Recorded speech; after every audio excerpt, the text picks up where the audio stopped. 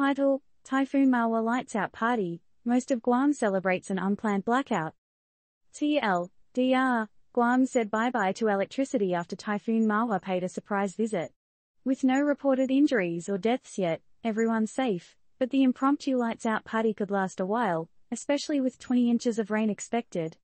And yeah, we're talking about an island with a population roughly equivalent to Salt Lake City. Typhoon Mawar, moving with all the urgency of a snail at 8 miles per hour, decided to pop over to Guam for a bit of chaos and fun. The result?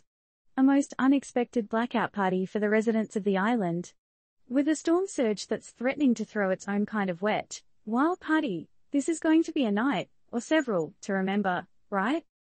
So, what do you do when your quiet Tuesday evening is crashed by a typhoon and the most popular guest of the night, electricity, decides to bail? Well, the people of Guam are figuring that out right now, and it's making for a great, if not slightly damp, story. But let's not forget about the rain. We're not talking a drizzle here, people. We're talking 20 inches of rain. That's taller than your average two-year-old. What happens when your island gets drenched with two feet of rainfall? No reports of injuries or deaths have emerged so far, so this isn't some horror movie. But it's definitely a suspenseful one, with 170,000 people sitting in the dark, wondering what the heck Mawar's next move will be. Will it sashay, northwest or perhaps pull a surprise twist and go south? Now, let's talk about storm surges. These bad boys can cause serious flooding. So the question we're all thinking is, will Mawar bring a watery plus one to the blackout party? Despite the odds, the people of Guam are hanging tough.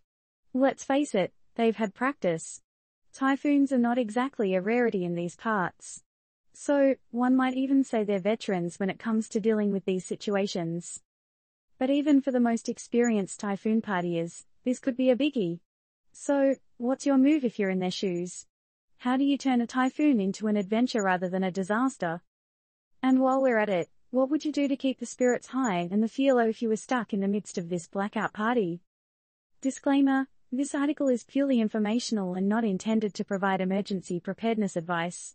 In any emergency situation, always follow the directives of official authorities. So, what do you think, readers?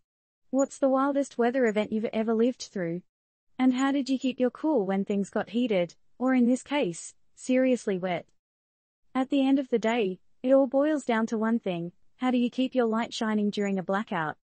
And, can you turn a power cut into a power surge of community and resilience?